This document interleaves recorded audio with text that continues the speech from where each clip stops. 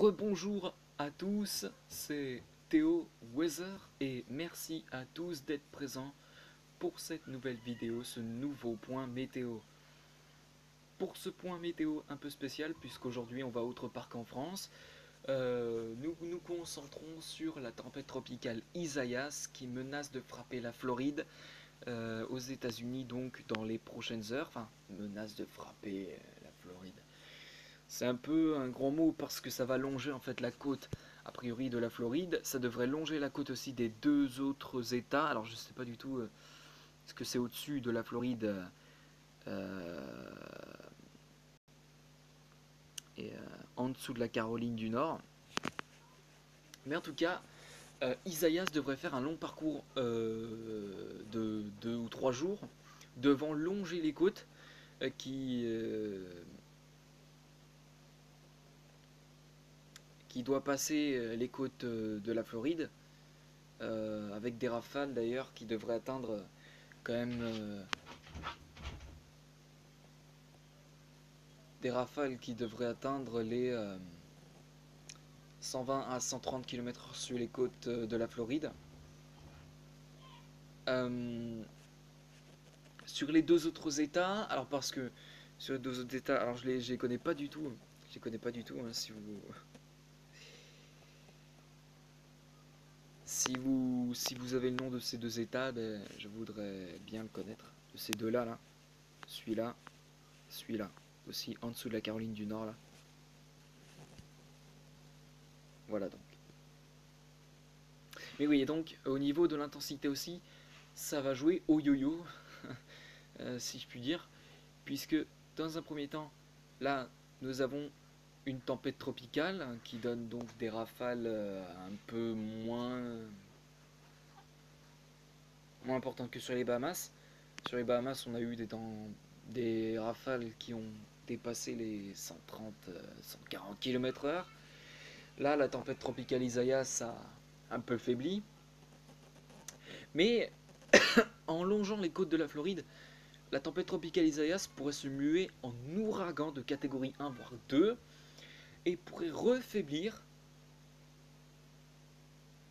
en longeant les côtes donc de cet état que je, n'ai pas le nom hein, et puis pourrait reprendre de l'intensité avant sur euh, le sud de la Caroline du Nord, je veux dire, sur le, pays, enfin l'État en, en dessous de la Caroline du Nord, et devrait cette fois-ci impacter les terres de la Caroline du Nord, devrait toucher la ville de Charleston, avec des rafales qui devraient atteindre les 130 à 140 km/h. Donc, c'est un ouragan qui devrait être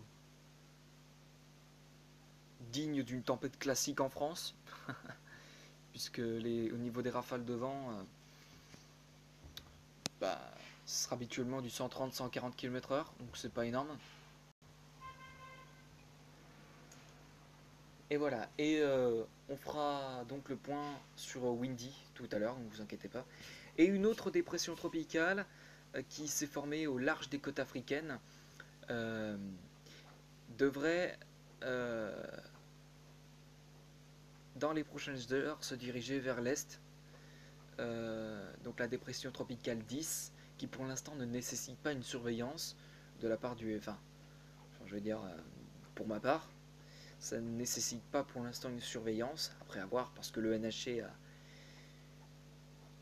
émis un bulletin de surveillance sur cette dépression tropicale, donc à voir si ça va tenir la route, si ça va aller jusqu'au bout, si ça va être une dépression tropicale.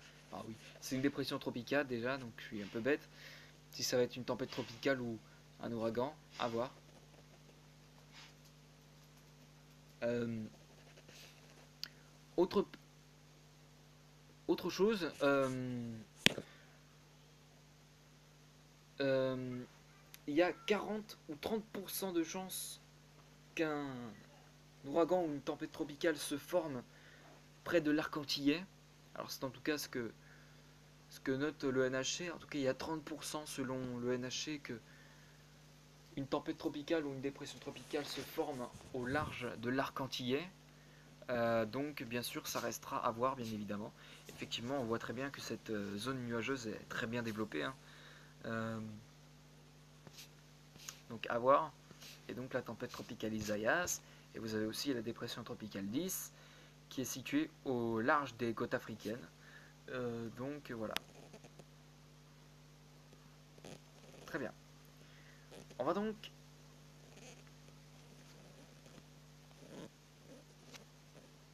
aller euh, sur euh, l'application Windy, enfin je veux dire sur le site internet Windy en l'occurrence. Je vous retrouve tout de suite, je fais une petite ellipse.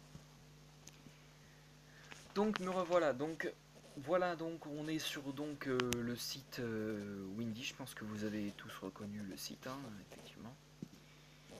Et donc on peut très bien voir que il y a la tempête tropicale Isaias qui donc se rapproche des côtes de la Floride, euh, qu'elle devrait toucher euh, normalement dans les prochaines heures.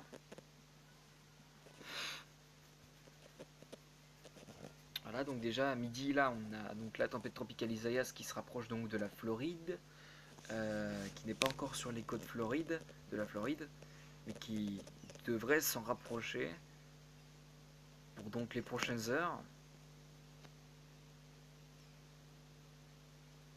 Et euh, avec des rafales assez importantes, hein. des rafales on l'a vu de 130 km heure. Donc euh, voilà. Ensuite, dans la fin d'après-midi, en heure française, Isaias pourrait se muer en catégorie 1, en ouragan. Ah, ah désolé parce que des fois c'est tactile, bug.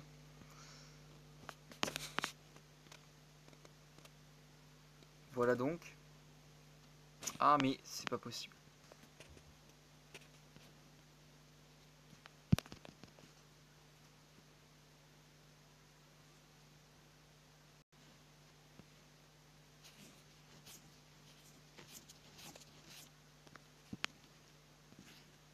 Ah putain mais allez Allez allez Ah mais c'est pas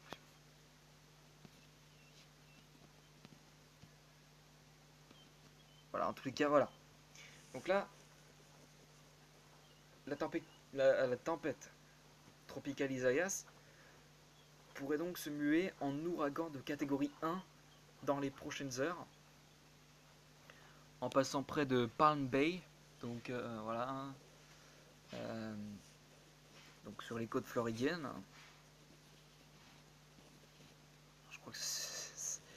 Que ça se dit comme ça, Claude Floridienne, je suis pas sûr. Ah voilà, c'est la Géorgie et la Caroline du Sud. Les deux États au-dessus de la Floride et en dessous de la Caroline du Nord. Voilà. Là où la Géorgie, ok. Alors. Ensuite, dans la soirée, et bah regardez, Isaias pourrait se muer en ouragan de catégorie 2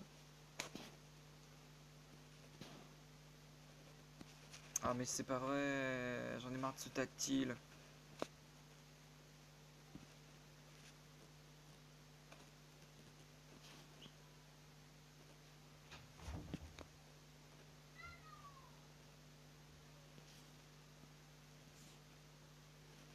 Voilà, avec donc des, températures. Putain, mais... je suis toujours mal réveillé moi.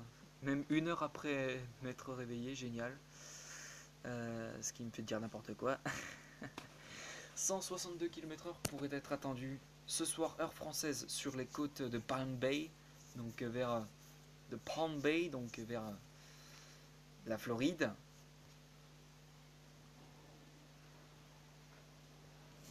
Donc voilà.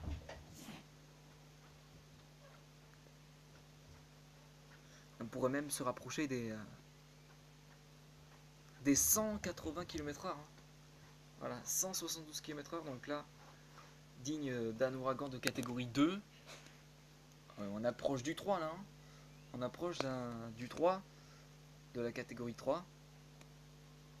Avant de se réaffaiblir lundi dans la nuit, dans la matinée, heure française.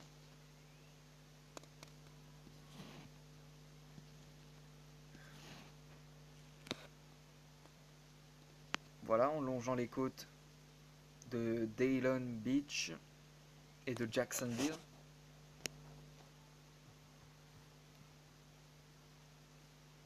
Voilà. Alors moi au départ j'ai cru que Isaias allait s'arrêter ici, puisqu'on voit qu'il faiblit très clairement, hein, vous pouvez comme euh, moi le constater. Sauf que non, non, non, non, non, non, non, non, Isaias va se réactiver en arrivant sur euh, les côtes de la Géorgie, vers Savannah, et puis euh, voilà, tout, tout, ça va remonter ensuite vers la Caroline du, du Sud.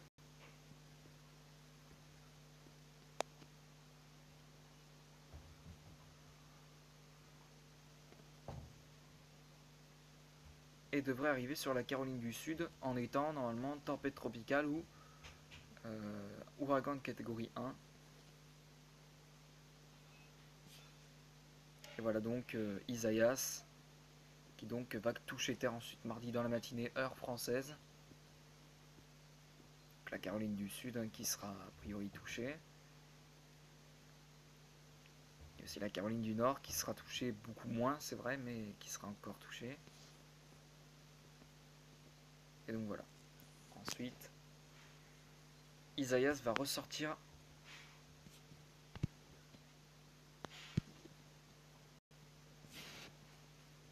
Des États-Unis. Dans la nuit de mardi à mercredi heure française. En se dirigeant vers le Connecticut à vrai dire. Et voilà. Bon et eh ben écoutez on va se laisser ici pour ce point météo. Euh,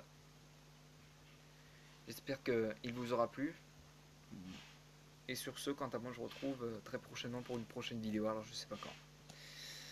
Je vous laisse ici et puis euh, à la prochaine.